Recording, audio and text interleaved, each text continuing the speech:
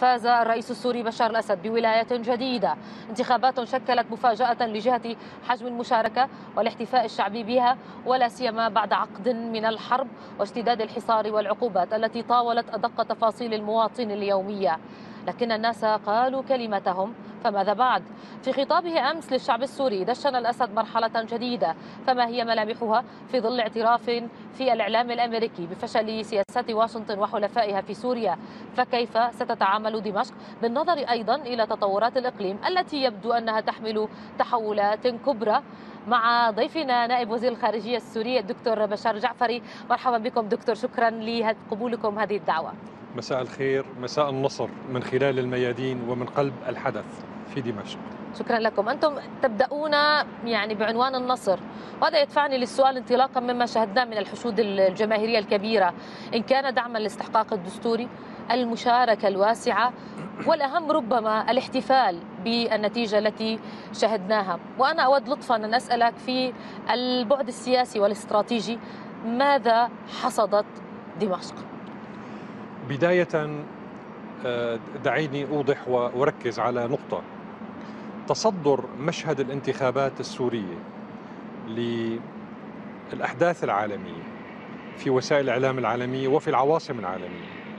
تصدر هذا المشهد في ساحة الأحداث العالمية يظهر ويؤكد بأن ما جرى هو أكثر من انتخابات. بمعنى؟ بمعنى أن العواصم ووسائل الإعلام العالمية كانت تتوقع أن تكون الانتخابات السورية إما عادية تحت الضغط أو أنها فاشلة كمان تحت الضغط. لكن عندما نجحت الانتخابات بالشكل الذي شاهده العالم كله أضحت الصورة مختلفة تماما. لدى من يحب سوريا ولدى من يعادي سوريا. ثبت للجميع أن هذه الانتخابات هي ترمومتر تقيس ميزان يقيس درجة حرارة النصر عند البعض والهزيمة عند الآخرين. فمن هذا المنطلق لا يجب أن نفهم أن الانتخابات السورية التي حدثت هي كانت مقياس لإرادة الصبر الاستراتيجي عند السوريين أولا وعند الآخرين ثانيا.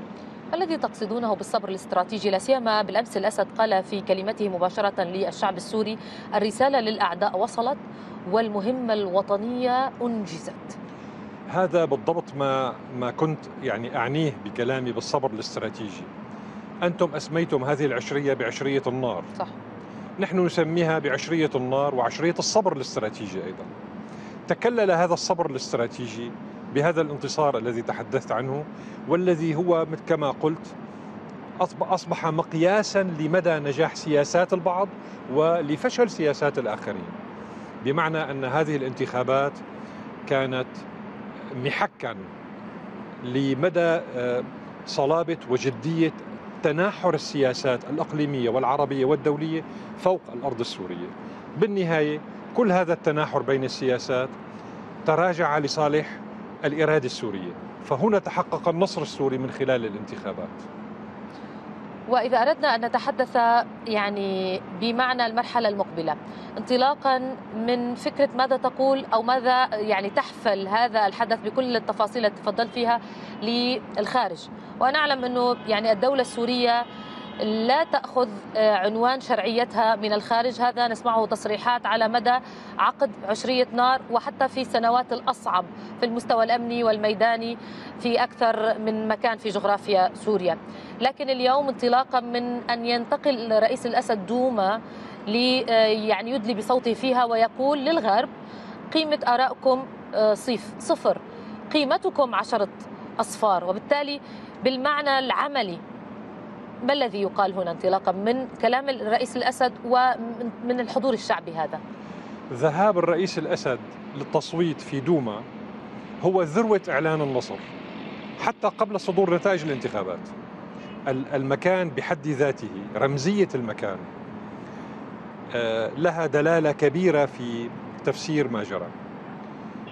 سوريا بحجمها الديموغرافي وبحجمها كمساحة وبقدراتها الاقتصادية. ليست دولة يعني كبيرة بالمقياس المعروف لكن سوريا عندما تتحرك ضمن إطار الجيوبوليتيك تصبح قوة كبرى. لا أحد يتقن لعبة الجيوبوليتيك أكثر من السوريين تاريخيا تاريخيا. الغرب يخطئ كثيرا معنا ومع غيرنا عندما يحاول أن يفرض العولمة الغربية كنموذج للانتخابات في الدول بمعنى أن الغربيين يعتبرون أن ديمقراطياتهم هم هي النموذج الذي يجب أن يحاكيه الجميع. طيب أكبر ديمقراطية في العالم هي الهند مثلا. ومع ذلك عندما تجري انتخابات في الهند ترين الصحافة البريطانية تنتقد الانتخابات الهندية. عندما تحدث انتخابات في أفريقيا ينتقدون الانتخابات الأفريقية، في فنزويلا، في كوبا، في سوريا، في بيلاروسيا، في روسيا، في الصين، نفس المسألة. فهناك مشكلة عند الغربيين وليس عندنا. هم يريدون أن يفرضوا عولمتهم الانتخابية على انتخاباتنا، بمعنى أن يفرضوا علينا معاييرهم الانتخابية ويقولون هناك مرجعية واحدة في العالم للديمقراطية هي المرجعية الغربية. هذا الكلام لا يمكن أن يقبله أحد. لا السوريين ولا غير السوريين وبالتالي الصدمات التي يصاب بها الغرب تأتي من هذا الباب لأنهم لا يعون أو لم يعودوا يعون بشكل واضح تماما أن ما يطرحونه من شعارات معولمة لا تسري على كثير من الأمور ومنها الانتخابات. لكن نحن نتحدث عن عقد من الزمن كان فيه عملية تشويش وتشويه. وعملية حملات وطعن بالشرعية والموقع. لذلك هل بالفعل دمشق اليوم انطلاقا من الحشود التي شهدناها ومن ما آه، قدم في العملية الانتخابية تتجاوز ذلك؟ يعني بالمعنى العملي مع عنوان المرحلة في مواجهة من كانوا في المحور المقابل مشاركين مباشرة في الحرب في سوريا وعليها؟ يعني كيف تستفيدون من ذلك؟ أولا آه، الانتصار السوري هو اولا انتصار على المشروع الإرهابي. هذا اولا. الذي كلف تريليونات الدولارات لرعاته. وأنا لا أبالغ يعني. أنا أنا أتكلم وأنا أعرف حقيقة ما جرى بحكم خبرتي آه، آه، بما عندما كنت أعمل في نيويورك. الانتصار الأول هو الانتصار على الإرهاب وعلى رعاة الإرهاب وهم طبعا الدول الغربية. الانتصار الثاني هو أن سوريا خرجت من هذه الحرب غير المسبوقة كمان منتصرة. منتصرة بإرادتها منتصرة بالتفاف شعبها على قيادتها منتصرة بالصبر الاستراتيجي الذي تحدثنا عنه في البداية. ثلاثة النتيجة الثالثة هي أن كل المناورات والمؤامرات التي جرت سواء على مستوى بعض الدول العربية أو على مستوى الإقليم الدول الإقليمية آه، تراجع لصالح الآن البحث عن آه، سلم للنزول من على الشجرة لدى لدى معظم اللاعبين الإقليميين الذين كانوا يتباهون في مقدمة في بداية الأزمة كما تتذكرين. البعض كان يقول أسبوعين والبعض كان يقول شهرين.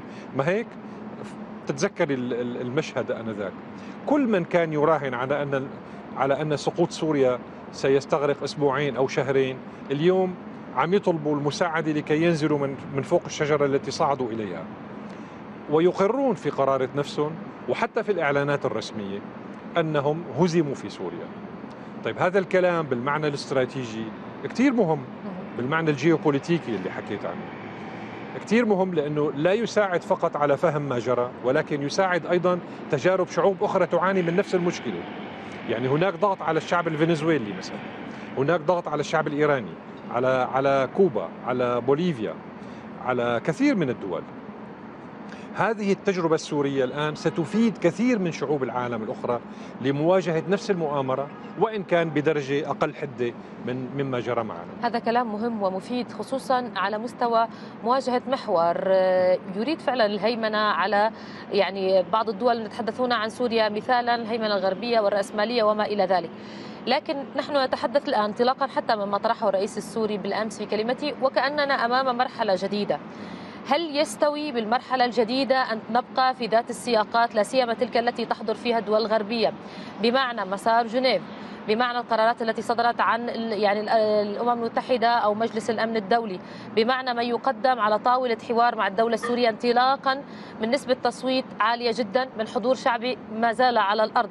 هل نحن أمام مرحلة جديدة أيضا في مسار العمل السياسي التسوية السياسية أم لا؟ آه شكرا. سؤال سؤال جدا مهم. أنا أريد أن أذكر السادة المشاهدين أن سوريا حققت كثيرا من الإنجازات التي تعجز عنها دول أكبر منها وأقوى منها. دعيني أعطيك بعض الأمثلة. نحن كنا في بداية الأزمة ولغاية العام 2017 يعني تقريبا سبع سنوات من الأزمة كنا نقول في مجلس الأمن وخارج مجلس الأمن وفي العواصم المهمة وفي الاجتماعات الدولية أنه يوجد إرهاب في سوريا كان الغربيون يصرون على أن ما على أن ما هو في سوريا كائن هي عبارة عن معارضة معتدلة ما هيك كانوا يسموها وكنا نتندر عليهم أحيانا نقول لهم لا هي معارضة مسلحة معتدلة معدلة وراثيا بحيث يكون الصيني والشيشاني والليبي والسعودي والقطري سوريين في النهاية. طيب بعد سبع سنوات من الإنكار المطلق لوجود إرهاب في سوريا يأتي السيد أوباما إلى مجلس الأمن ويعتمد بنفسه قرارا بالإجماع ضد الإرهاب الأجنبي في سوريا والعراق. أليس هذا انتصارا دبلوماسيا؟ هذا واحد. اثنين بعد عشر سنوات كانت الأزمة السورية والحرب الإرهابية على سوريا سببا في اعتماد مجلس الأمن لأحد عشر قرارا لمكافحة الإرهاب تخيلي نقلناهم من الإنكار المطلق إلى اعتماد 11 قرار حول مكافحة الإرهاب هلا هم لهم مصلحة طبعا لهم مصلحة. يعني عندما جاء أوباما واعتمد القرار ال ال الهام حول مكافحة داعش في سوريا والعراق لم يكن القصد هو محاربة داعش والعراق وإنما تبرير إرسال القوات الأمريكية إلى سوريا والعراق. فهم كانوا يعرفون ماذا يفعلون. ولكننا أجبرناهم على الاعتراف والإقرار بوجود إرهاب في سوريا والعراق اسمه داعش. نعم. وبعدين طبعا جبهة النصرة والقاعدة وهيئة تحرير الشام وهي كلها بالمناسبة بعد أن رفض الغربيون سنوات إدراجهم على قائمة مجلس الأمن للكيانات الإرهابية نجحنا بإدراجهم ككيانات إرهابية. فهذا أيضا نصر دبلوماسي. الناس لا ترى هذه الزاوية من الصراع القائم. هل دخلنا مرحلة جديدة؟ طبعا طبعا دخلنا مرحلة جديدة. مرحلة تكريس هذا النصر الذي نتحدث عنه. يعني نحن الآن دمشق عادت لتكون قبلة آه، الدبلوماسية العالمية. اليوم كيف؟ أنت بتفتحي اليوم أي أي قناة تلفزيونية وبتقرأي أي جريدة غربية وبتسمعي أي مسؤول غربي تجدين أن الحدث السوري موجود. باستمرار. لا يخلو لا تخلو نشرة أخبار في في الدوائر الغربية إلا ويكون اسم سوريا موجود. هذا الكلام يعني ثابت ومؤكد. في الاجتماعات الدولية على الرغم من أنه طبعا الأجندات الغربية معادية لسوريا لكن الغربيون يقعون في خطأ فادح في الاجتماعات الدولية وخاصة في الأمم المتحدة عندما يستفزون الحقيقة الحقيقة ترتد عليهم. فدائما كانوا يكذبون ثم يكذبون ثم يكذبون. فترتد عليهم الكذبة نعم. بمن يذكرهم بالحقائق.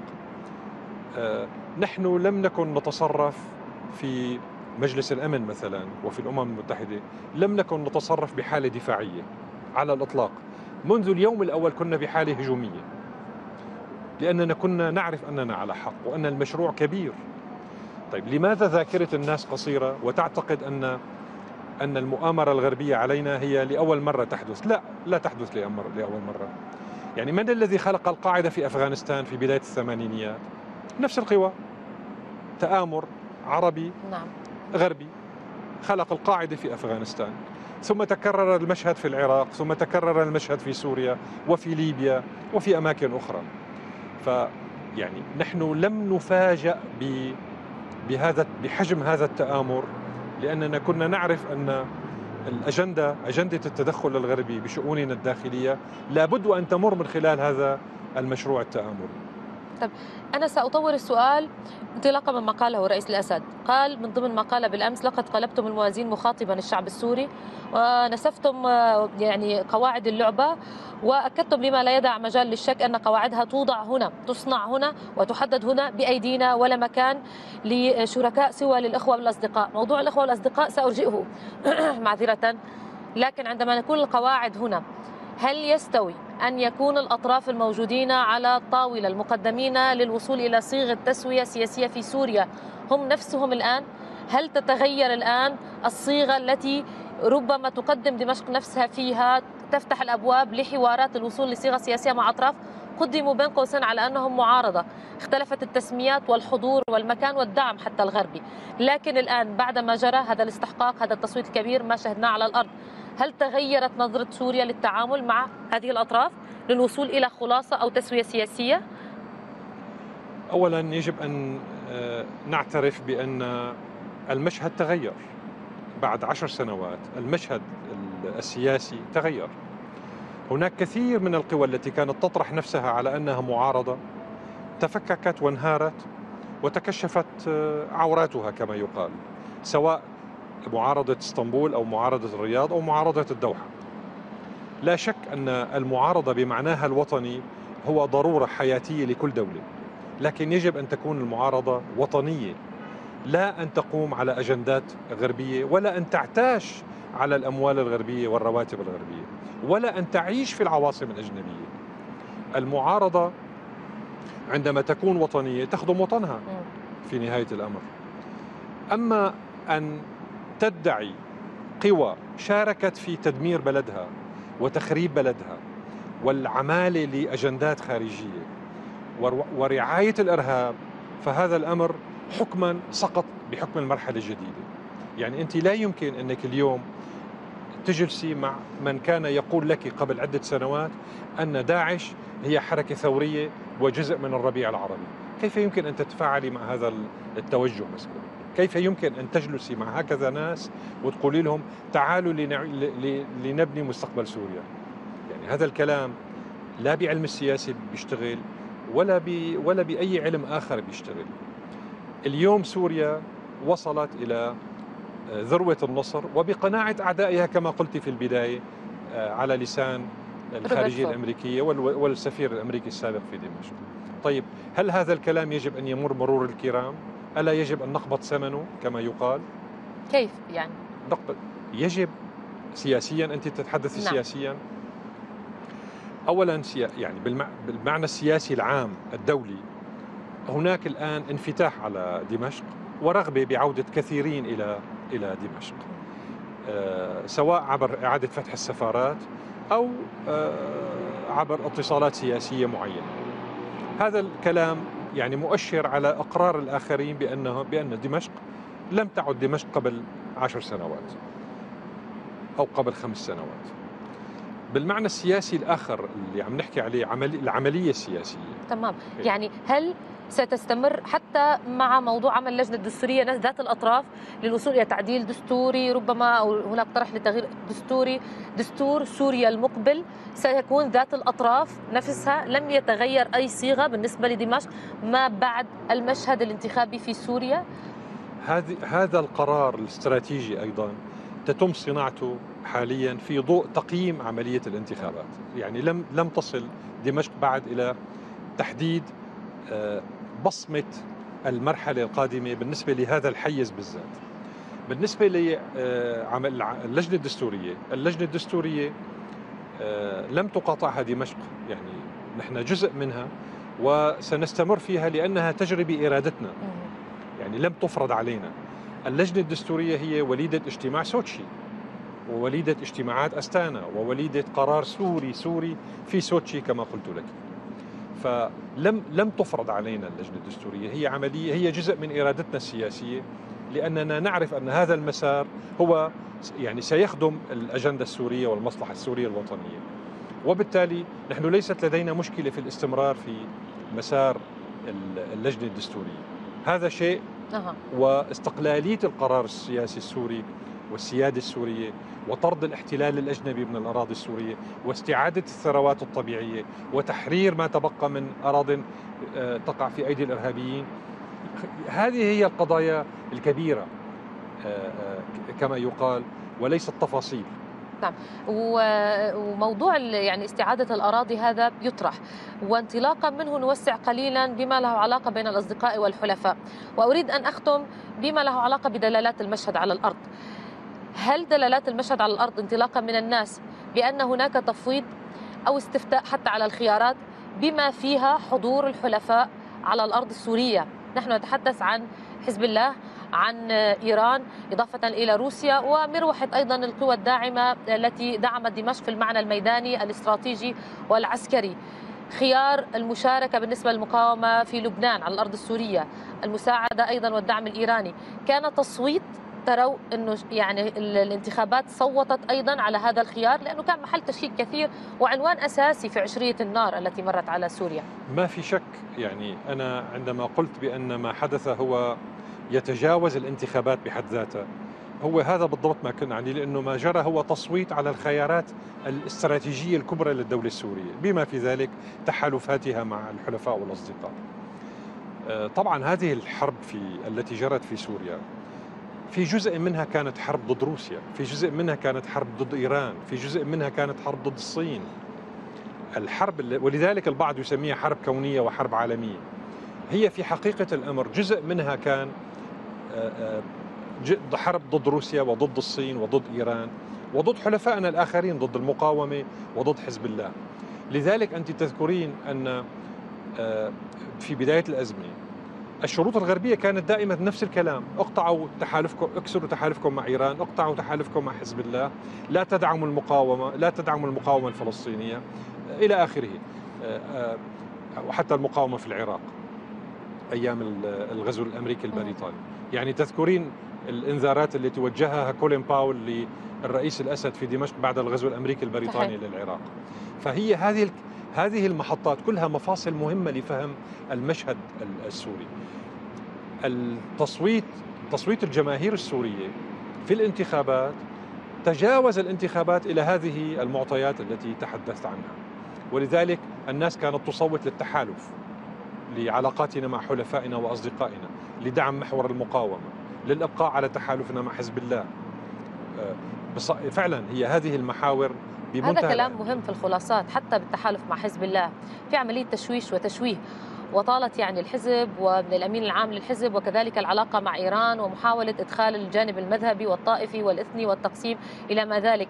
أن تقول بما تمثلون دكتور بأن هناك تصويت شعبي على هذه التحالفات وعلى هذا الخيار هذا كلام مهم جدا. طبعا هذا الكلام جدا مهم طبعا. يعني نحن منذ البداية لم نكن آه، آه، نتخيل للحظة أن علاقاتنا الاستراتيجية مع محور المقاومة سيلقى رضا الغربيين. أنت تصطدمين بالغرب بسبب أس... لسبب أساسي. إسرائيل. السبب الرئيسي للصدام مع المصالح الغربية هو المشروع الإسرائيلي في المنطقة. الصهيونية في إسرائيل هي دواعش اليهودية. يعني حتى ال ال ال ال اليهودية لديها دواعشها وتتمثل بالصهيونية. المشروع الداعشي موجود للأسف في كل المكونات الدينية في في العالم. هناك هناك شكل من أشكال الداعشية عند كل الأديان السماوية وغير السماوية. وإلا كيف تفسرين العنف الذي يجري اليوم في بورما مثلا؟ كيف تفسرين بعض أشكال العنف والاضطهاد في في دولة ديمقراطية عريقة مثل الهند مثلا؟ هو هذا السبب. جنوح العالم نحو التطرف بقناعات أيديولوجية آه، معينة تذكيها مخابر استخباراتية آه، آه، وراها قوى معينة. لكن نحن المحور الأساسي لنا في المنطقة كان وما زال وسيبقى موضوع النظر إلى استقرار المنطقة من خلال آه، آه، آه، المقاومة. المقاومة بالمعنى بالمعنى الكبير. المقاومه في فلسطين والمقاومة في لبنان والمقاومة في سوريا والمقاومة في العراق والمقاومة في في كل الدول ذات المتماثلة التفكير التي تشاركنا كثير من الأشياء وعددها 20 22 دولة تقريبا. فهناك مشروع استقلالي وطني يتناحر ويتصادم مع مشروع تدخلي خارجي آخر. ولذلك أنا تحدثت في البداية عن الجيوبوليتيك. سوريا طوعت الجيوبوليتيك تطويع وهو أمر مكلف جدا مكلفنا لصالح مصالحها الوطنية. هذا بالضبط ما جرى. لكن بعد عشرية النار دمشق متمسكة بالمقاومة رغم كل ما جرى. بالضبط طبعا طبعا. وهذا ينسحب بعيدا عن بعيدا عن تخرصات البعض و, و الأقاويل التي تسري هنا وهناك. يعني ذكرت كلمة مذهبية ودينية وطائفية و... هذه المفردات لا لم تعد تؤثر في القاموس السوري لأننا آه، السوريون واعون أكثر من غيرهم بكثير إلى حجم التلاعب بهذه المصطلحات. يعني الوعي السوري أحد أسباب الانتصار. وعي الفرد السوري والمواطن السوري أحد أسباب انتصارنا. صعب كثير إنك توقعي السوري في هذه الترهات التي يقع بها الآخرون. طيب أنا صحيح يعني أشدد على نقطة قد تبدو بديهية للمتابع الذي يعرف سوريا جيدا. ولكن بعد عشرية النار وكل ما جرى بسوريا ليست خلاصة عادية أن تقول دمشق بأننا متمسكون بالمقاومة، نرى الرئيس الأسد يعني يستضيف وفدا من منظمات والفصائل الفلسطينية ويقول باب دمشق مفتوح. لكل الفصائل المقاومة. صح. هذا عنوان ليس ببسيط بعد كل ما جرى. انطلاقا من هذه النقطة أريد أن نفتح وإياكم نوسع الدائرة من دائرة المهنئين أيضا الذين هنأوا الرئيس السوري ب آه، يعني فوزه بولاية ثانية. كيف قيمتم آه، ذلك؟ وإلى أي حد يعني مروحة المهنئين أفرزت محورا يعني من دون أن نرى تسمية له عندما نرى التهنئة الروسية الصينية الإيرانية المقاومة في لبنان عندما نتحدث عن فنزويلا عن كوبا عن دول أخرى وواسعة هل تفرز محورا الآن طالما نتحدث عن مرحلة جديدة مقبلة عقد مضى وعقد ربما يخشاه أو يتحسب له الغرب الآن؟ أنت تتحدثين عن مجموعة الدول متماثلة التفكير ومتماثلة السياسات ومتماثلة التحديات وهي الدول التي تحدثت عنها وعددها تقريبا 20 22 دولة في العالم. كلها تعاني بشكل أو بآخر من نفس المشاريع الغربية التدخلية. آه، يعني أنا لا أريد أن أذكر الدول ذكرناها عدة مرات. لكن هذه الدول موجودة في كل القارات. بعضها في أفريقيا بعضها في أمريكا اللاتينية بعضها في منطقتنا وبعضها الآخر في آسيا. اليوم حتى في في في أوروبا. يعني بيلاروس اليوم واحدة من الدول اللي عم نحكي عنها. أضيفي إلى ذلك أن الغرب تجرأ حتى على روسيا والصين. اليوم روسيا والصين هي جزء من مجموعة الدول متماثله التفكير في نيويورك. عندما نجتمع كنا في نيويورك وما زلنا روسيا والصين معنا في المجموعة. نفس التحديات نفس المشاريع نفس الأعداء نفس المخططات. آه، ولذلك هناك قواسم مشتركة بين مجموعة هذه الدول. آه، تدفعنا دفعا نحو بعضنا البعض. هلأ بتحبي تسميها محور مقاومة بتحبي تسميها محور آه، الدول متماثلة التحديات متماثلة التفكير. سميها ما شئتي لكن هذه الدول في بينها قواسم مشتركة عديدة تجعلها تتلاحم مع بعض البعض. وتدافع عن بعض البعض بكل الأشكال وبكل الأسلحة لأنه الاستفراد بدولة من هذه الدول يعني أن جميع الدول ستخسر في نهاية المطاف. الغرب آه، يسيطر على آليات كثيرة في العلاقات السياسية الدولية، البنك الدولي وصندوق النقد الدولي وإلى حد ما حتى يعني مجلس الأمن. مجلس الأمن ست راميا نصف عدد اعضائه دول من حلف الناتو هناك سبع دول في مجلس الأمن أعضاء في الناتو. طيب أي مجلس أمن هذا اللي عم نحكي عنه نحن؟ كيف يمكن لهذا المجلس أن يحافظ على السلم والأمن الدوليين؟ ونصفه تماما دول أعضاء في حلف الناتو. تؤيد الغزو تؤيد الاحتلال تؤيد الاضطهاد ضد القضية الفلسطينية مع إسرائيل بشكل أعمى آه، ضد المقاومة. طيب كيف يمكن لهذا المجلس أن يقوم بمهمته الموكله إليه بموجب الميثاق في الحفظ على الأمن والسلم الدوليين. مستحيل. لولا وجود روسيا والصين في مجلس الأمن وتمتعهما بحق النقد لكانت الأمور أسوأ من هيك بكثير أسوأ من هيك بكثير يعني دولة مثل الصين استخدمت في كل تاريخها آه، قراء آه، امتياز حق النقد 14 آه، مرة. ثمانية منهم لصالح سوريا. طيب أليس هذا رقما؟ يعني يجب أن نتوقف عنده. ما هي مصلحة الصين في أن تتحدى أمريكا والغربيين وحلف الناتو؟ ثمان مرات مشان دولة مثل سوريا. ما هي مصلحتهم؟ ما هيك؟ سؤال مهم. النقطة الثانية. لغة الأرقام كثير مهمة في في عمل السياسة الدولية اليوم. يعني باب المقارنة يظهر لك حجم الحقد الغربي على سوريا. الناس بتعرف أن الحقد الغربي على العراق دمر العراق. والأمريكان والإنجليز آه، احتلوا العراق وفعلوا به ما فعلوا. طيب العراق خلال 17 عاما من حرب الخليج الثانية 1991 ولغاية انتهاء برنامج النفط مقابل الغذاء 2008 17 سنة. خلال 17 سنة مجلس الأمن طبعا الغربيين آنذاك لأن الاتحاد السوفيتي كان آه، تفكك وروسيا كانت ضعيفة وبوريس يلتسن وغورباتشوف والقصة اللي بتعرفوها. كانت روسيا ضعيفة والصين كانت لا تجرؤ أن تقف في وجه الغرب.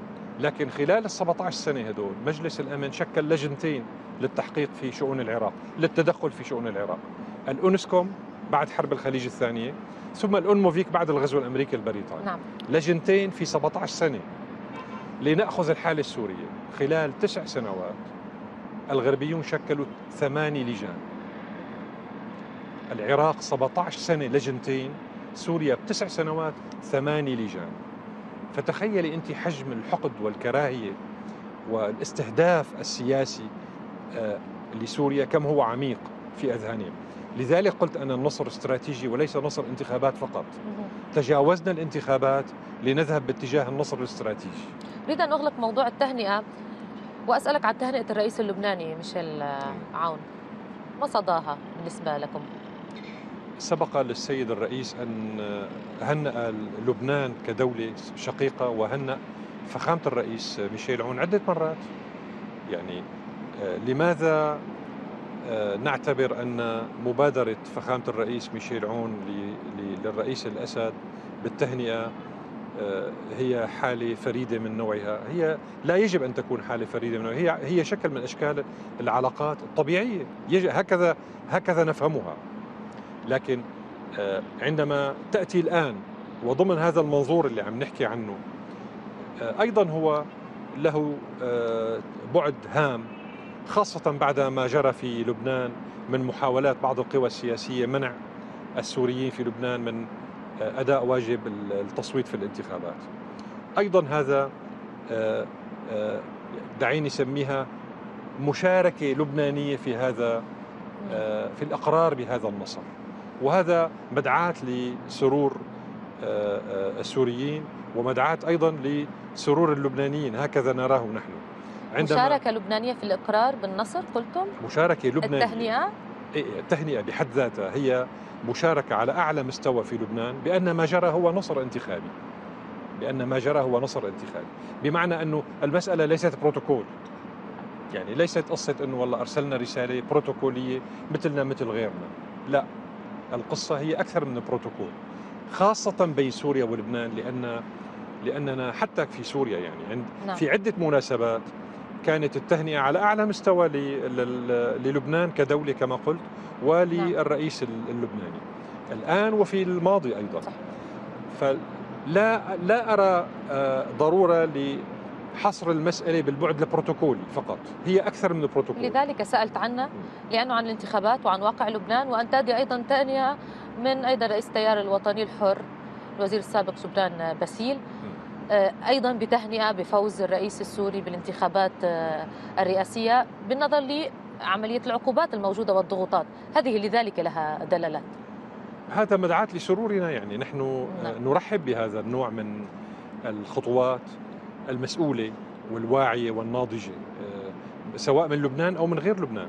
بالعكس يعني نحن لا نرى فيها كما قلت لك خطوة بروتوكولية نفهمها سياسيا ونقيمها سياسيا ونراها أصلا أصلا كما قلت لك نوع من أنواع الشراكة في الانتصار.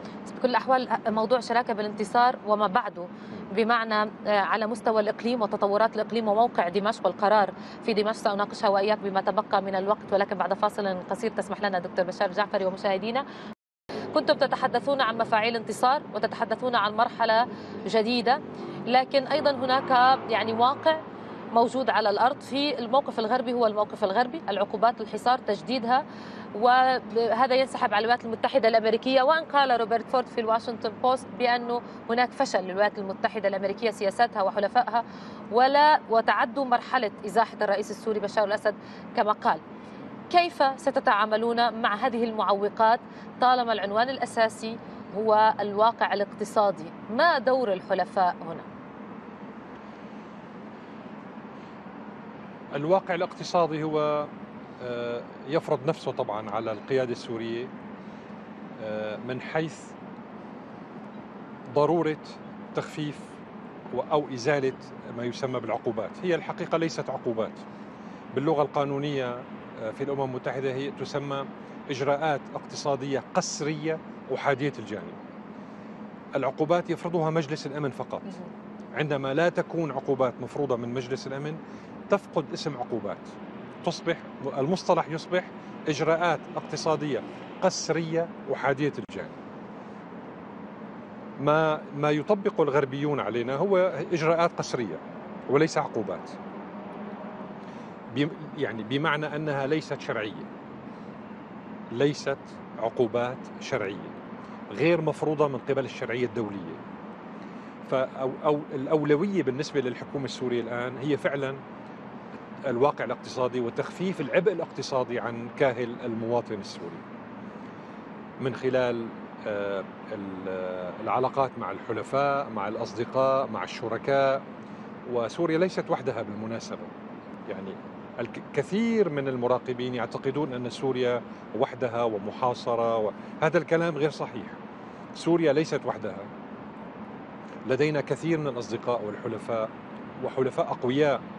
دول عظمى آه، ورانا. روسيا والصين ليست دولة ليستا دولتين آه، يعني صغيرتين.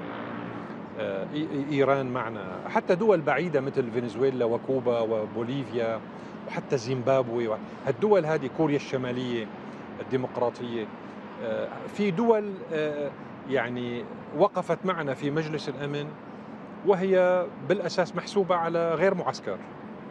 يعني في دول كثيرة في مجلس الأمن آه، وقفت مع سوريا بشكل واضح يعني إندونيسيا والهند فيتنام آه، جنوب أفريقيا دول مهمة. فسوريا ليست وحدها. تجاوز العقوبات الإجراءات القسرية أو ما يسمى بالعقوبات. كما قلت لك هي ستكون أولوية الحكومة في المرحلة القادمة. طبعا آه، هناك تعبير إنجليزي بيسموه حلول خلاقة. creative solution والحلول الحلول الخلاقة موجودة باستمرار. الكون والكرة الأرضية ليست ملكا للغربيين. وهذا الكلام كثير من الشعوب الآن تتمرد على سلطة الغرب وخاصة في أفريقيا وأمريكا اللاتينية.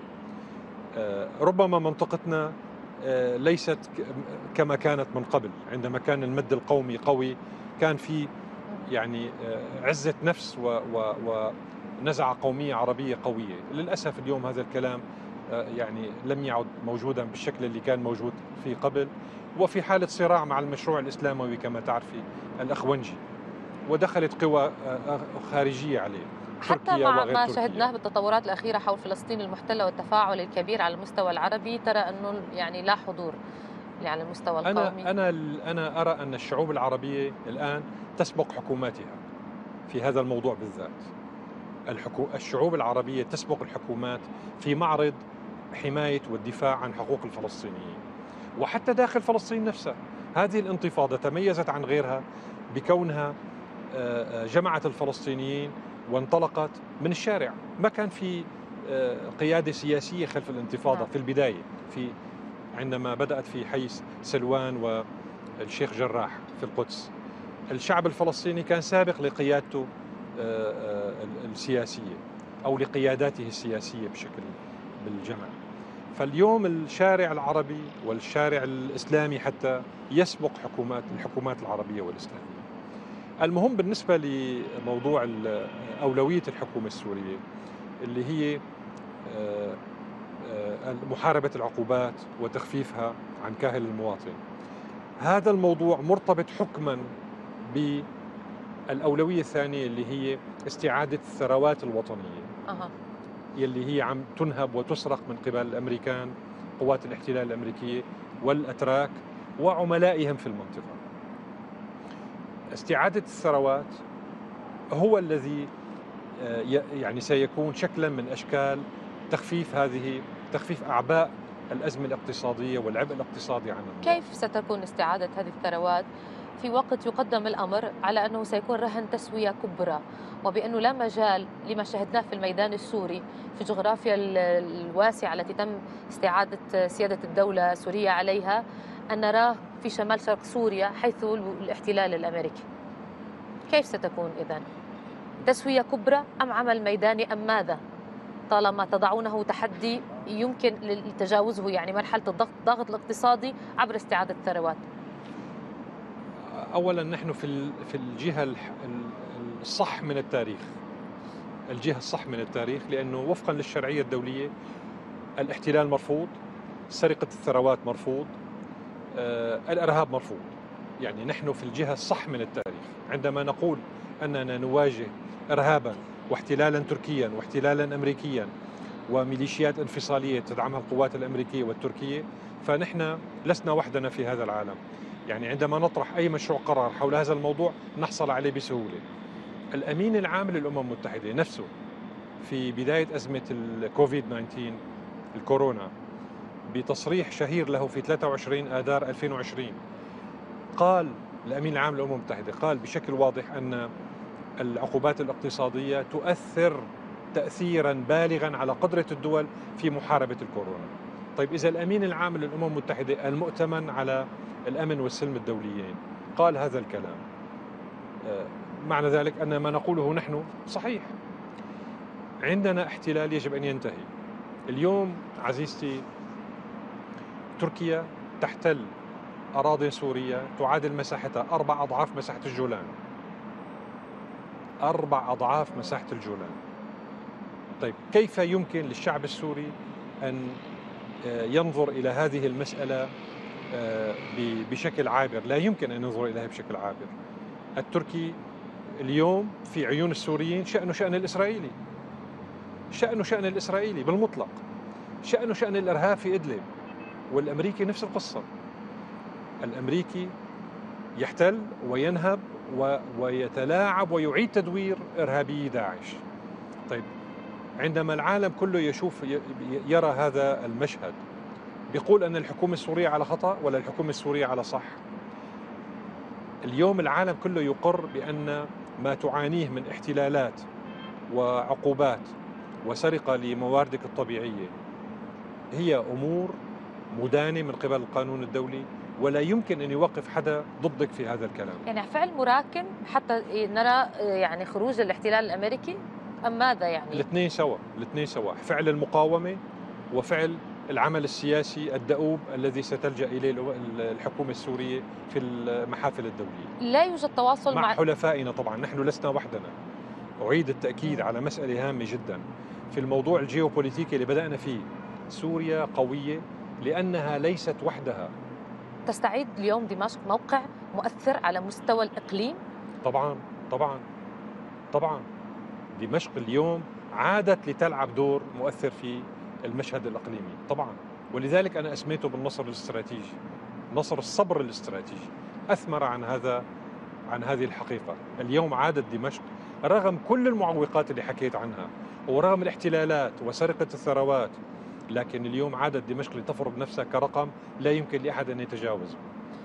لا يوجد تواصل مع تركيا إطلاقا؟ لا. هناك من يقول إلا من خلال اجتماعات أستانا. آه، آه، يعني بشكل اجتماعات أستانا هي الاجتماعات التي يحضرها تحضرها الدول الثلاثة مع سوريا مع الحكومة السورية. لكن هناك من يقول بأنه لكن لا ليس هناك حوار بيننا وبينهم حتى في أستانا. لكن هناك من يقول بأنه يفترض أن تكون هناك سياقات للتواصل مع تركيا لأنه في دكتاتورية للجغرافيا ويجب أن يكون رغم يعني حجم مستوى العلاقة الذي توتر بشكل كبير والدخول التركي كما تتفضلون وتوصفون أيضا بعملية الاحتلال والجغرافيا الواسعة والتي فيها نفوذ تركي وتتريك أيضا على غير مستوى. بأنه يفترض أن يكون هناك خلق بوابة للتواصل لمرحلة مقبلة. لا يمكن إزاحة تركيا بهذه الحدود الطويلة مع سوريا مهما كان. كيف تردون على هذا الطرح؟ وبأي سياقات قد نرى مكانا ما يتجاوز مرحلة رغم كل تعقيداتها لإعادة بناء علاقة فيها خواتيم جيدة. المشكلة لا تكمن في الجانب السوري. يعني هذه ما أسميتيه ما أسميتيه بالدكتاتور دكتاتورية الجغرافيا. هذا الكلام نحن نعيه جيدا. حصل لقاءات أمنية بينه وبينهم. حصل لقاءات أمنية لكنها لم تسفر عن شيء.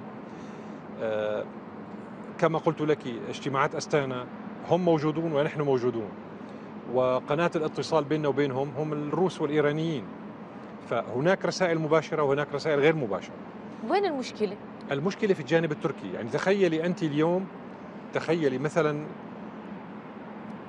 النظام التركي لم يترك بابا للإساءة للشعب السوري إلا وطرقه. ليس فقط من خلال رعاية الإرهاب في إدلب وتشجيع الحركات الانفصالية والمجموعات المسلحة في الشمال. ولا أكثر من ذلك اليوم يقطع المياه عن الفرات ودجلة. طيب اليوم آه نهر دجلة في بغداد يمشي به الأطفال خالي من المياه أجزاء كبيرة من نهر الفرات في سوريا خالية من المياه لا يوجد مياه في النهر هل هذا تعبير عن حسن الجوار؟ أين دكتاتورية الجغرافيا في عيون النظام التركي؟ يعني أين أين هذا النظام من هذه المأساة التي تجري الآن بحق ملايين السوريين في المنطقة الشمالية ما هو المرفوض من الماء دمشق؟ في سوريا ليس لا يستخدم فقط للزراعة وإنما للشرب في حلب صح. والرقة والشمال كله وهناك اتفاقيات يفترض حول الحصص المائية وتوليد الكهرباء نعم. الضرر الذي تحدثه تركيا بحق الشعب السوري ضرر لا يقاس على الإطلاق لا بالمال ولا بأي شيء ثاني طيب أين هي دكتاتورية الجغرافيا أين هي اتفاق أين هو اتفاق أضمة لعام 98 أين هو اتفاق المياه بيننا وبينهم اللي التزموا بتمرير ما هو عنوان إغلاق الباب التركي باتجاه آه، سوريا باتجاه نعم. دمشق؟ ما هو العنوان المقدم من تركيا في إغلاق هذا الباب من تركيا باتجاه آه، دمشق؟ ما الذي يقال في الطرح؟ لا لا تسمعي منهم اقتراحات آه، يعني منطقية وعقلانية. أساسا هم ينكرون كل ما نقوله هم ينكرون هذا الكلام. يقولون أنهم لا يساعدون الإرهاب يقولون أنهم لا يتدخلوا في الشأن الداخلي السوري وإنما يدعمون المعارضة المعتدلة القصة اللي بتعرفيها فهم يعني ينكرون حتى آه، سياساتهم العدائية تجاه آه، سوريا وشعب سوريا. عندما تقطعين المياه عن ملايين نعم. السوريين ماذا تسمين هذا العمل؟ أليس عملا عدائيا؟ يعني أين حسن الجوار؟ أين الاتفاقيات الدولية؟ هناك اتفاقيات بيننا وبينهم موقعة سنة 1998 لتقاسم المياه. يلحسون توقيعهم بكل سهولة. طيب من يرعى الإرهاب في إدلب؟ أليست تركيا التي ترعى الإرهاب؟ من ي... من الذي يشجع المجموعات الإرهابية المسلحة في الشمال؟ من الذي يحتل أربع مس... أضعاف مساحة الجولان؟ أليست الوقت انتهى بشكل كامل لكن أود أسألك عن المقاربة في دمشق لتطورات الملف النووي بمعنى هناك من يقول بأنه سيكون مفاعيل يعني آه، عودة الولايات المتحدة الأمريكية لهذا الاتفاق تحرر إيران من العديد من العقوبات فيه منفعة مباشرة على دمشق وذلك سينعكس في الجانب الاقتصادي ولذلك رأينا قنصلية عامة تفتتح لإيران حتى في حلب العاصمة الاقتصادية. وبدقيقة لطفا. هذا الكلام تحصيل حاصل يعني عندما عندما ترتاح دولة من دول محور المقاومة فترتاح الدول الأخرى. يعني شيء طبيعي أن يكون نجاح طرف من الأطراف هو نجاح للآخرين وعندما يكون فشل المؤامرة الغربية بالنسبة في الملف النووي هو نجاح لمحور المقاومة. فصحيح هذا الكلام؟ صحيح. في كلمة أخيرة؟ شكرا للميادين على إتاحة الفرصة لي للتحدث معك حول هذا الحدث الهام. الذي يسيطر على المشهد العربي والإقليمي والدولي. شكرا, شكرا جزيلا لكم نائب وزير الخارجية السورية دكتور بشار جعفري شكرا. على هذا الحضور وكل ما قدمته لنا في هذه المساحة.